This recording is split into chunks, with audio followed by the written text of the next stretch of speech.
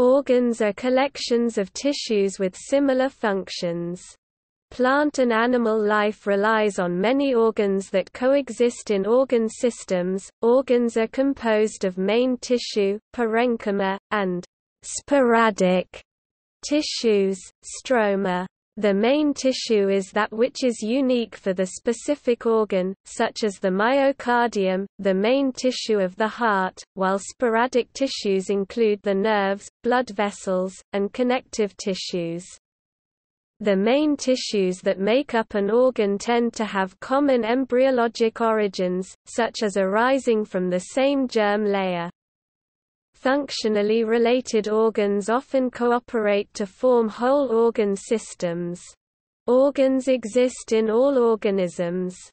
In single-celled organisms such as bacteria, the functional analogue of an organ is known as an organelle. In plants there are three main organs. A hollow organ is an internal organ that forms a hollow tube, or pouch such as the stomach, intestine, or bladder.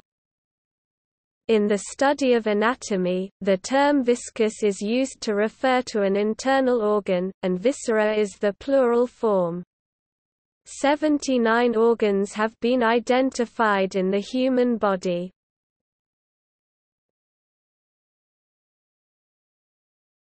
Topic: Structure.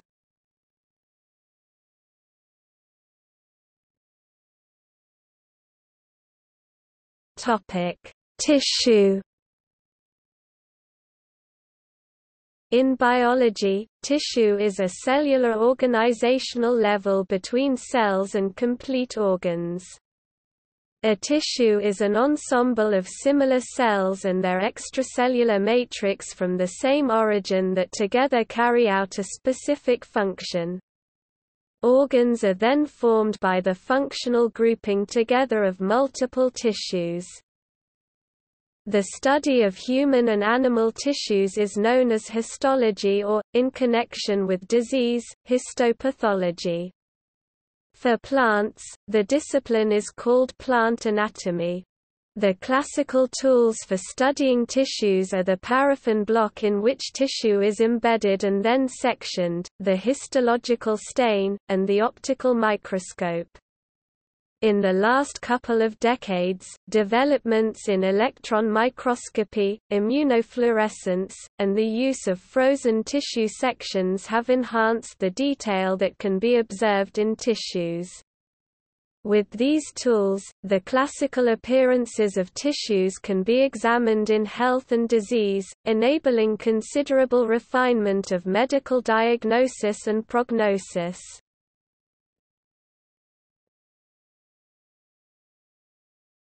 Topic: Organ systems. Two or more organs working together in the execution of a specific body function form an organ system, also called a biological system or body system. The functions of organ systems often share significant overlap. For instance, the nervous and endocrine system both operate via a shared organ, the hypothalamus.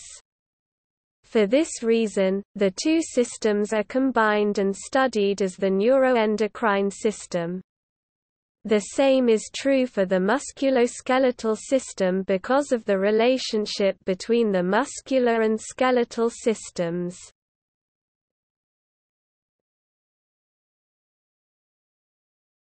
Topic: Function.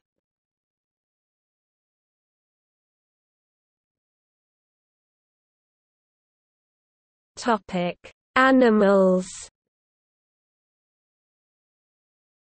Animals such as humans have a variety of organ systems. These specific systems are also widely studied in human anatomy. Cardiovascular system, pumping and channeling blood to and from the body and lungs with heart, blood and blood vessels. Digestive system, digestion and processing food with salivary glands, esophagus, stomach, liver, gallbladder, pancreas, intestines, colon, rectum and anus. Endocrine system – communication within the body using hormones made by endocrine glands such as the hypothalamus, pituitary gland, pineal body or pineal gland, thyroid, parathyroids and adrenals, i.e., adrenal glands. Excretory system, kidneys, ureters, bladder and urethra involved in fluid balance, electrolyte balance and excretion of urine. Lymphatic system – structures involved in the transfer of lymph between tissues and the bloodstream, the lymph and the nodes and vessels that transport it including the immune system, defending against disease-causing agents with leukocytes, tonsils, adenoids, thymus and spleen. Integumentary system – skin, hair and nails of mammals also scales of fish, reptiles, and birds, and feathers of birds. Muscular system – movement with muscles. Nervous system – collecting, transferring and processing information with brain, spinal cord and nerves.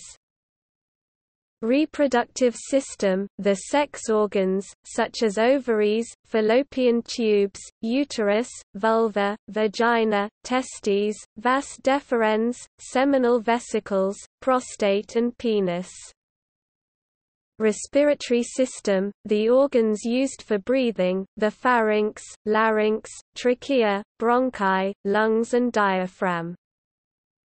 Skeletal system, structural support and protection with bones, cartilage, ligaments and tendons.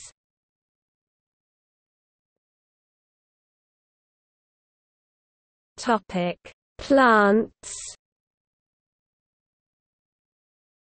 The study of plant organs is referred to as plant morphology, rather than anatomy, as in animal systems.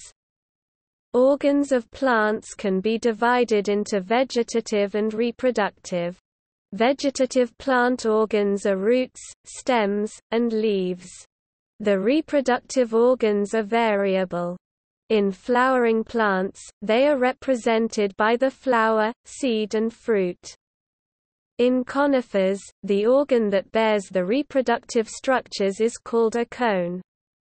In other divisions phyla of plants, the reproductive organs are called strobili, in Lycopodiophyta, or simply gametophores in mosses. The vegetative organs are essential for maintaining the life of a plant.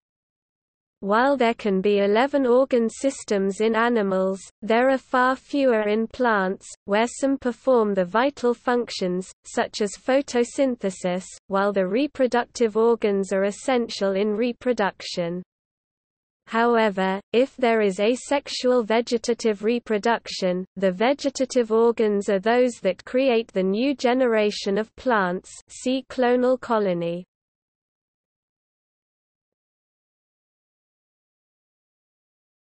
Topic: Society and culture. Many societies have a system for organ donation, in which a living or deceased donor's organ is transplanted into a person with a failing organ. The transplantation of larger solid organs often requires immunosuppression to prevent organ rejection or graft versus host disease. There is considerable interest throughout the world in creating laboratory-grown or artificial organs.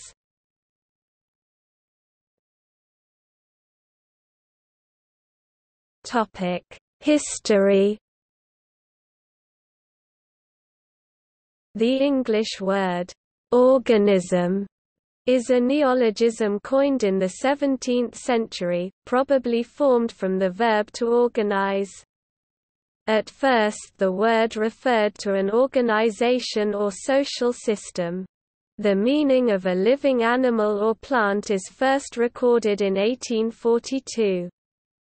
Plant organs are made from tissue built up from different types of tissue. When there are three or more organs it is called an organ system. The adjective visceral, also splanchnic, is used for anything pertaining to the internal organs. Historically, viscera of animals were examined by Roman pagan priests like the haruspices or the augurs in order to divine the future by their shape, dimensions or other factors. This practice remains an important ritual in some remote, tribal societies.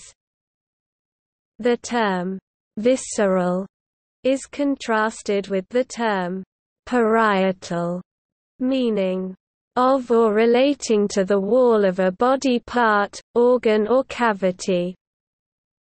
The two terms are often used in describing a membrane or piece of connective tissue, referring to the opposing sides.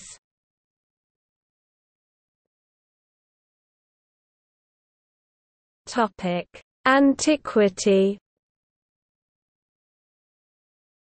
Aristotle used the word frequently in his philosophy, both to describe the organs of plants or animals e.g. the roots of a tree, the heart or liver of an animal, and to describe more abstract parts of an interconnected whole e.g. his logical works, taken as a whole, are referred to as the organon. Some alchemists e.g. Paracelsus adopted the Hermetic Kabbalah assignment between the seven vital organs and the seven classical planets as follows.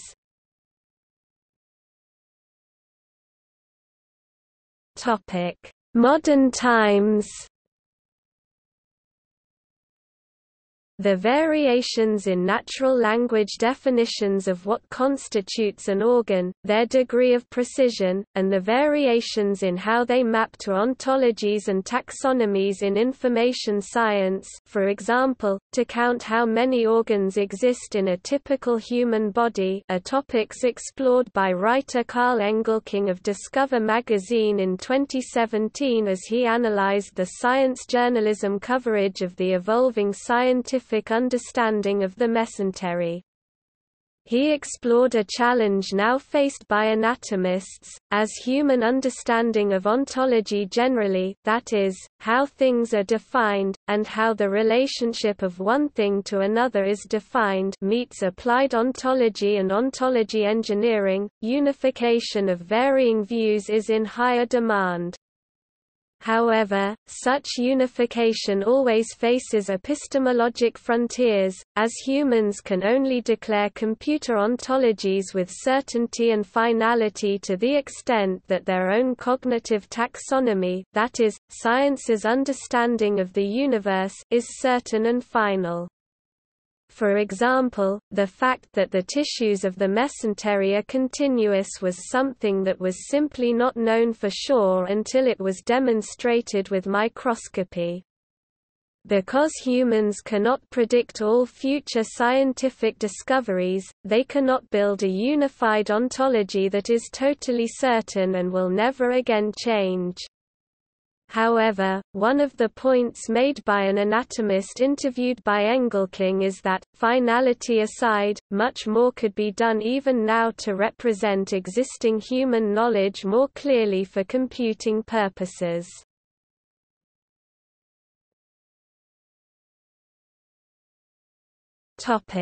Origin and evolution The organ level of organization in animals can be first detected in flatworms and the more derived phyla. The less advanced taxa like Placozoa, sponges and radiata do not show consolidation of their tissues into organs. Complex animals are composed of organs and many of these organs evolved a very long time ago. For example, the liver evolved in the stem vertebrates more than 500 million years ago, while the gut and brain are even more ancient, arising in the ancestor of vertebrates, insects, and worms more than 600 million years ago. Given the ancient origin of most vertebrate organs, researchers have looked for model systems, where organs have evolved more recently, and ideally have evolved multiple times independently. An outstanding model for this kind of research is the placenta, which has evolved more than 100 times independently in vertebrates, has evolved relatively recently in some lineages, and exists in intermediate forms in extant taxa. Studies on the evolution of the placenta have identified a variety of genetic and physiological processes that contribute to the origin and evolution of organs. These include the repurposing of existing animal tissues, the acquisition of new functional properties by these tissues, and novel interactions of distinct tissue types. See also